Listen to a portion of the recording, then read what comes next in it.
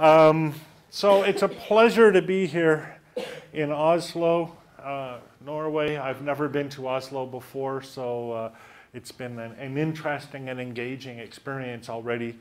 And uh, thank you so much for inviting me. The title of my talk is We Don't Need No Educator. Normally, my titles are more grammatically correct but uh, we're sort of going with a theme here. The subtitle is The Role of the Teacher in Today's Online Education, and the thesis essentially is that the role of the teacher as we know it will kind of vanish and disappear. But the bulk of the talk is about what will replace the teacher because of course education will not vanish and disappear and no robots are not going to come out of nowhere and start teaching us. That's almost certainly not going to happen. I have to say almost because you never know. I saw those honda robots in japan dancing a jig so but no, uh, this talk is not to propose that teachers will be replaced with robots or anything like that. But teachers will be replaced with a wide variety of people, and that's what I want to talk about today.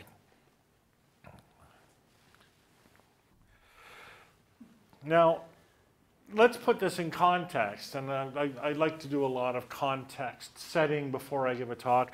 That scene, of course, is from Pink Floyd, The Wall, and I really, really wanted to start the talk, especially with the title the way it is, with Pink Floyd playing in the background, maybe on, but I get into copyright trouble if I did that, because I do try to record these. But what's interesting, and there have been a lot of comments, you know, a lot of uh, things written uh, in my notes. I've got some references, and these will be available later. People saying that the single most important factor affecting student achievement is the teacher. And, you know, I, I look at something like that, and of course, all the teachers in the room nod, but I don't think it's true. Uh, I think even today, when we examine what in fact impacts educational outcomes, and there are studies and studies and studies looking at these factors, numerous factors. Parental income is a major factor. It's probably the major predictor of educational outcome is parental income as opposed to teachers. Socioeconomic factors, expectations in societies, role models in societies, uh, Social equity, it, from the, if you look at the PISA data, for example, that's the uh, student assessment that OECD does, there is a correlation between equity in society and student achievement in that society. Even if the society itself is poorer, the difference between rich and poor makes a difference. And of course, there's the genetic predisposition uh, it is arguable, although I'd be hard pressed to make the argument, that some people are born geniuses, others not so much. Certainly, childhood nutrition plays a huge factor here. I personally think that everybody can achieve, every person has the capacity to achieve, but many things happen to people on the way. Uh, their mother smokes, they don't get enough food, uh, the social environment doesn't support them, the resources aren't available, and all of this can happen before they even enter school for the first time. The point here is there's a lot going on in an education besides what happens between the teacher and the student. And if you look through, you know, through history, and if you look at learning today, we, we see dramatic changes in the traditional role. As I said, the, the thesis of the talk is that the traditional role of the educator is practically disappearing. So let me set this up. Let me set the objectives of the talk. That's for the teachers who like the objectives. Uh, and I, I want to do this as a threefold task. I was, I was wanted to be Buddhist and do an eightfold noble path, but I thought three would be enough for an hour talk. The first thing I want to do is I want to pull apart the roles of the educator in an online world. I want to draw out all these different roles that are replacing the role of the teacher. And as we go through these, you will see the necessity of each one of these roles. But secondly, I want to actually show how these roles have been playing a real part in real online learning and in this way give you a bit of a tour of the massive open online course that George Siemens, Dave Cormier, and I have been running for, well, since September, and similar courses that we've been running since 2008. These are online courses, but they're not traditional classes held online. They're massive, they're open. Our current course has more than 2,100 participants, and these sorts of numbers are common. There's a, a course being held in Stanford had 200,000 participants. This, or something like this, is the shape of learning in the future as well, and I want you to see that. And then thirdly, I want to punctuate all of that with some sound, practical examples and applications so that if you're interested in doing this sort of thing yourself, you have at least some starting points. So that's the plan. It's a very ambitious plan. Um, sometimes these ambitious, pl ambitious plans don't work, but I'm going to do my best. And uh, I've got, what, two hours, you said? Just kidding. Uh, do feel free if you want. Uh, now, we do have a panel discussion afterwards, so there, there will be lots of time for discussion. But if you have a, a pressing need to ask a question, to, to raise a comment, challenge me on something, do feel free to do so. Uh, I'm, I'm happy to have people converse during the, uh, during the presentation. You'll have to speak very loud because they're recording and all of that and I don't know how they'll do that. There must be a microphone or something circulating somewhere. Maybe nobody planned for that? Somebody planned for that. oh, then, yeah, there is a microphone. That's right. Okay. So now, what I'm describing really is a historical trend, isn't it? Know, way back in prehistory, you know, before computers, uh, we had teachers in schoolhouses and they did everything themselves. But as time went on, as more and more people began to be educated, as education itself became more institutionalized, we began to see the role of the teacher break apart into several sub roles. And I've got four examples here. I could probably have listed more. We have now the school custodian who takes over many of the roles that the teacher used to play, making sure that the building is heated, that the plumbing works, etc. We have the school librarian who's taking over the custody of the books and the notes and the accounts uh, of that school. We have the school administrators who manage the funding, take care of hiring, firing, all of that sort of thing act as an interface between the teacher and the town, necessarily so for each side. And of course, we have tech support, or I, I tried to find a picture of the, of the AV coordinator. The, uh, that's the person who wheeled around the overhead projector. Uh, you know, so these, these roles have already begun to, I, I, keep wanting to say decompose, but it's totally the wrong word. But you know, they've, they've split off from the traditional teacher. But even now, we still have a teacher. But again, this is going to change more and more into the future. Teachers themselves will be doing different kinds of things, and then other people will be doing other things.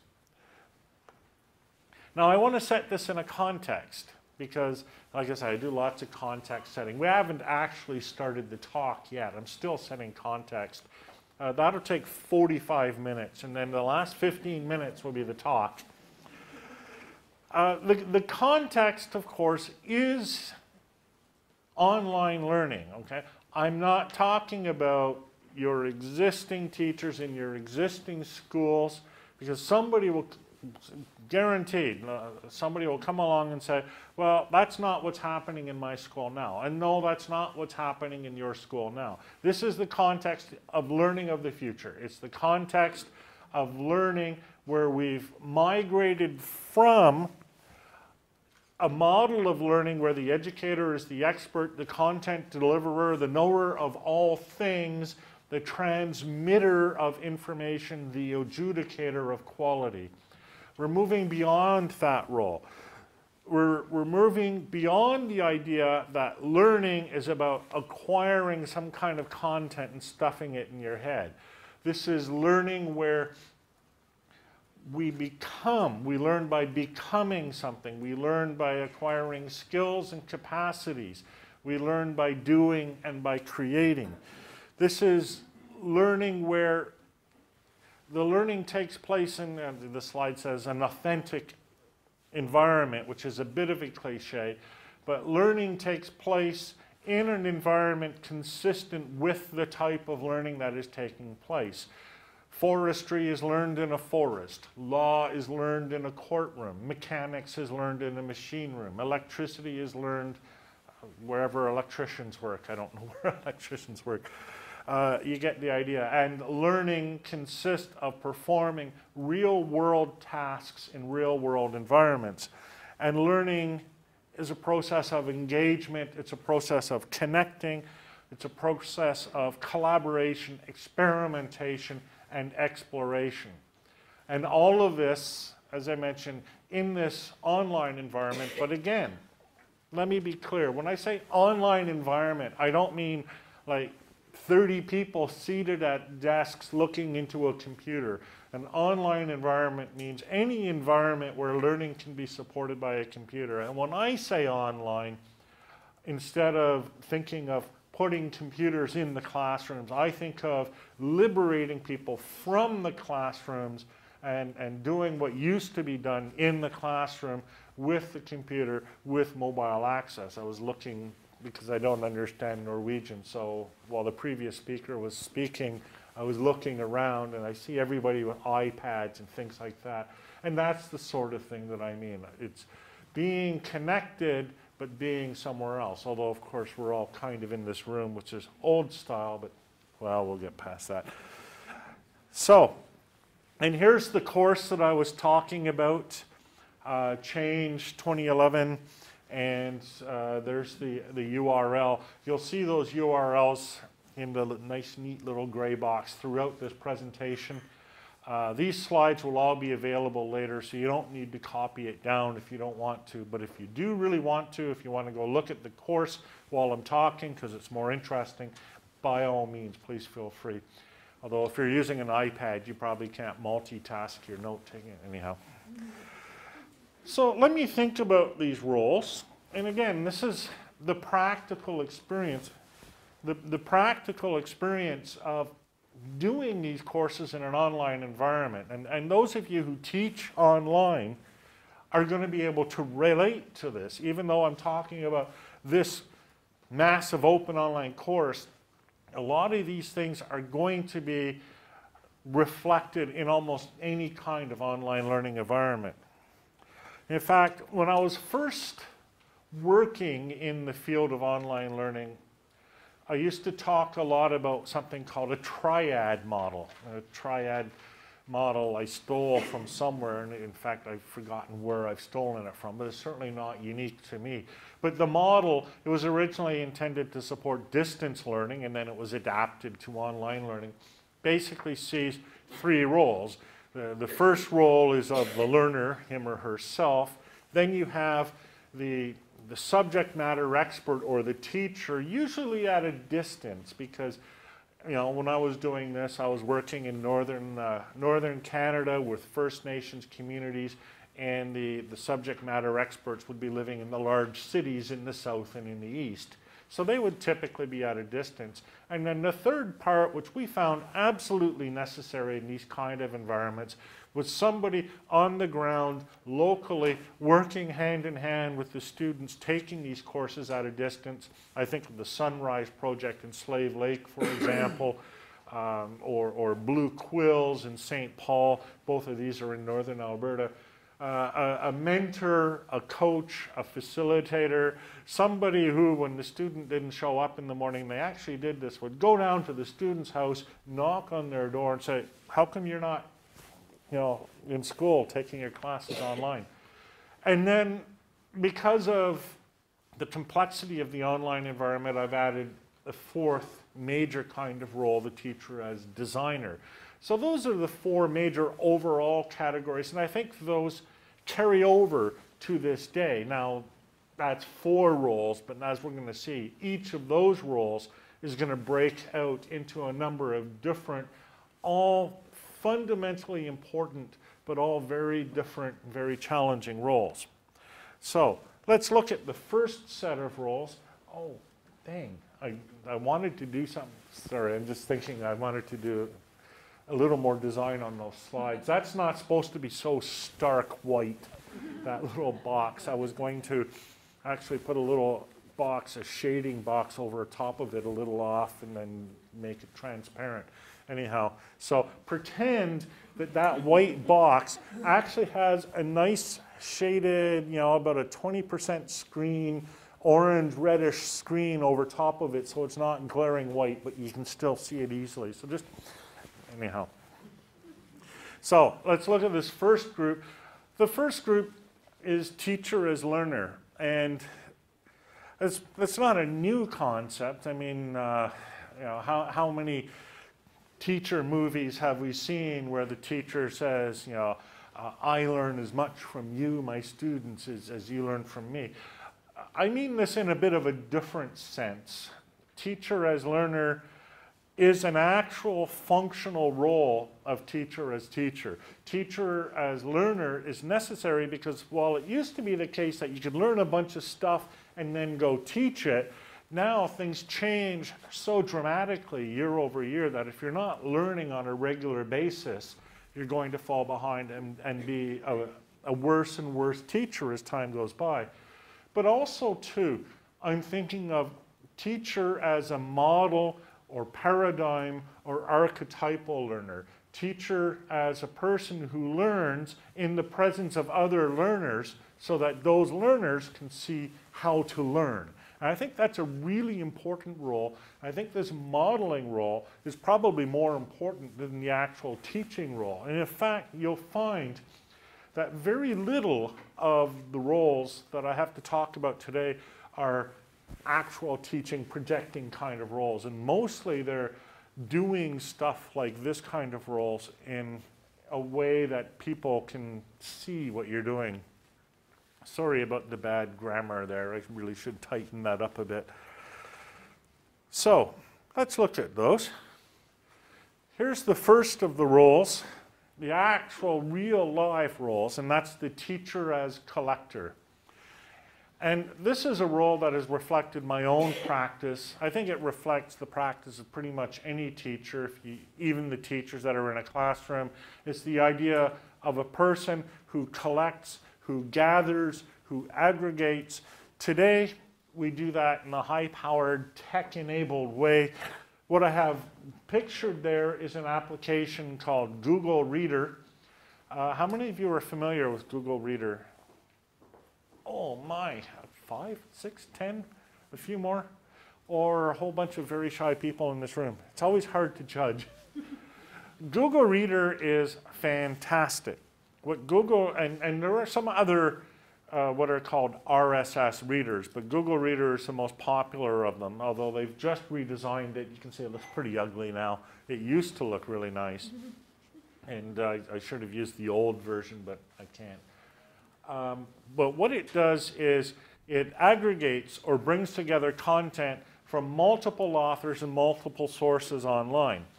I use Google Reader to keep track of several hundred content sources, people who write about the field of education, education technology, magazines, academic journals, organizations uh, such as ADL, EDUCAUSE, and others, and anything else that takes place online related to educational technology. You can actually get, if you wanted, a list of all the feeds, all the sources that I use in Google Reader, if you went to this URL, and it's kind of small, it's www.downes.ca slash opml.xml. That should work. And what that brings up is a file in a language called OPML. And if you just open it in your browser, it's going to be a whole bunch of squiggles and be almost unreadable. But save it to your computer, and then when you go into Google Reader and you go into the Manage Feeds section, you can import an OPML file like that. And so what you could do is in your Google Reader account, you could get a duplicate, a duplicate copy of all the feeds that I read. And of course, if you're using Google Reader, you can export an OPML file to share with other people as well. So we've got two things on the go here, right? We've got feeds, which are lists of articles, publications, resources, etc., produced by authors in the field. We have OPML files, which are lists of feeds. These two things together, RSS and OPML, really make gathering content from all over the internet a lot easier, a lot more manageable. And if you're, if you're teaching, if you're serious about keeping up with whatever field you're interested in, a mechanism, something like this, is really going to work for you. If you don't choose to, do, to use an RSS reader, you will still want to, in some way, systematize a method of collecting information. Maybe you follow Twitter feeds, maybe you uh, read uh, email mailing lists, uh, maybe you just talk to people a lot. But one way or another, the collecting function is going to be a key function of an educator. It's interesting, though, that it is a new and separate role. One of the reasons why I'm pretty well known in the field is because I do a lot of this collecting and then I publish my own newsletter. And so I function in the role of the collector so other people don't have to do that. Another role, crucial to the teacher as learner is the teacher as connector. This is about you connecting with other people who are in your field, who are either novices in the field or experts in the field. Connection, in fact, is the basis behind the theory of connectivism, which George Siemens and I talk about probably too much. But the idea here is that our knowledge is stored not just in resources, not just books, magazines, publications, articles, books, but knowledge of a field, of a discipline is stored in the people in that discipline. And so learning in that field is very much a process of connecting, of becoming a part of that community, of interacting with that community. In our open online course, this is one of the things that we stress. We uh, encourage people to set up Twitter accounts. We encourage people to communicate directly with each other. Pictured here is a product called TweetDeck. It's now owned by Twitter. Twitter itself, if you're not familiar with it, is just twitter.com. It is a site where you can enter short little messages and send them out to all of your followers. If you create a Twitter account, you will typically follow other people so that you receive uh, their messages. TweetDeck is a way of keeping track of different types of messages sent by different types of people. What happens is, in an online course or even uh, an event like this one, people create what's called a hashtag. The hashtag is simply a string of characters following a hash symbol, which is the little, the number, well, it's this and that's an example of a hashtag. There's a hashtag for this conference, and the hashtag is uh, hash uh, NFF11. Uh, not to be confused with the Nordic Film Festival, which this is one of the one of the difficulties with hashtags.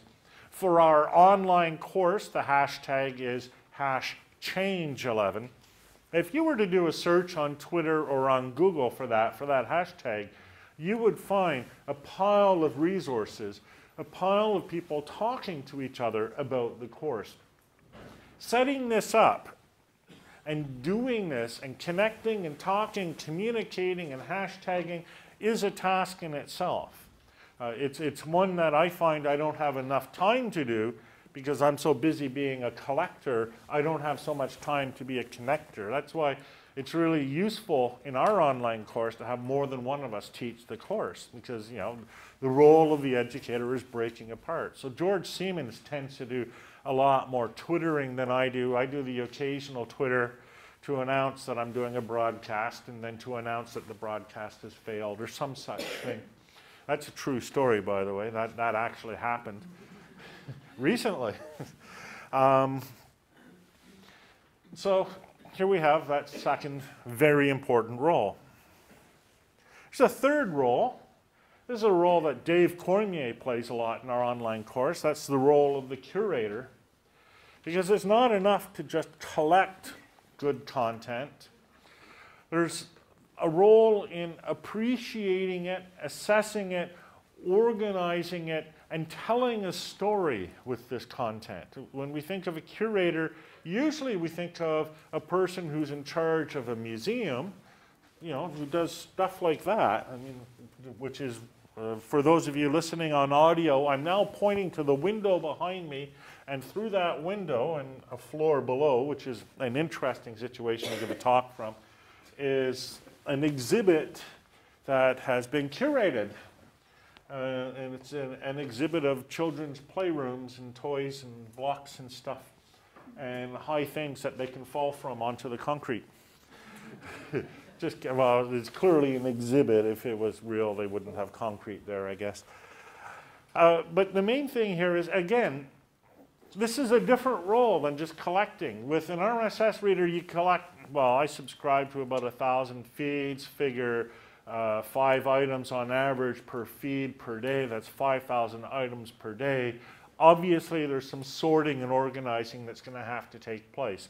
That's the role of the curator. Indeed, with my newsletter, I'm doing as much curating as I am aggregating and collecting because I collect, you know, a few thousand things every day, but I only put, you know, five to 10 of them in my newsletter. And I do try to organize them and tell the story. In our Change Online course, we also have a newsletter. The newsletter gets published every, every weekday. And again, it's a bit of this collecting, but it's also a bit of curating. It's a bit of bringing stuff together and telling the story. Another role of the student and a, and a role that the teacher has to play is that of the artist. Um, although I, I, read just uh, last week, it was one of these, you know, 17 signs that your class isn't in the digital age. One of the signs was if you are creating more than your students, you are not yet in the digital age. Creating is something that ought to be done by the learners as much as by the teachers. This is why I really, really like Jim Groom's DS 106 course. Jim Groom teaches at uh, Mary Washington University in the US, and he has a course called Digital Storytelling. And he decided at the beginning of the year to create, again, a massive open online course, uh, just like we had. But the big difference between his course and our course is that his course emphasized much more the creative act in learning, and it resulted in a, in a literal explosion of creativity. The, the internet will never be the same again. DS 106, what he did is he asked the world through Twitter, so his first act was as a connector, right? He asked the world to submit storytelling assignments and the world did. They, they contributed a whole bunch of different types of assignments. One assignment was uh, create uh, the create in four icons the story of a movie. Uh, another assignment was create an animation, one of those GIF animations where you know you see the GIF image and okay, but better. Um, that captures the, the essence of some, uh, some movie or some book or something like that. Uh, I did one for um, uh, Philip Marlowe and uh, his detective stories in 1950s California because I've been listening to them online. I just love those. Anyhow, uh, others were, you know, create a little video, interview somebody on video, and uh, well, anyhow, several hundred of these were contributed. And then he's teaching this class at a university, and he says, well, any, first of all, anybody in the world can come join the class because it is a massive open online course, and that's how they work. And then he told the students in his class, here's a list of assignments that have been suggested. Pick some and do them. And so that's what they did. Because, and that's the other aspect of a massive open online course is that it's not directed. There isn't a central curriculum. There isn't a core body of content that's being taught. The essence of learning in a massive open online course is the participation itself. And so it didn't matter what exercises they did in order to learn storytelling. It didn't matter that they followed some kind of common thread about storytelling. He could have stood up in the front of the room and said, you know, everything begins, you know, and it goes up to a climax. And, but he didn't do that. He had them learn storytelling by doing storytelling, but not just by doing storytelling, but by looking at what each other did in storytelling. Anyhow, this course produced thousands and thousands of artifacts. The people in the course couldn't stop contributing. The people outside the course couldn't stop contributing. And like I say, it sort of mushroomed.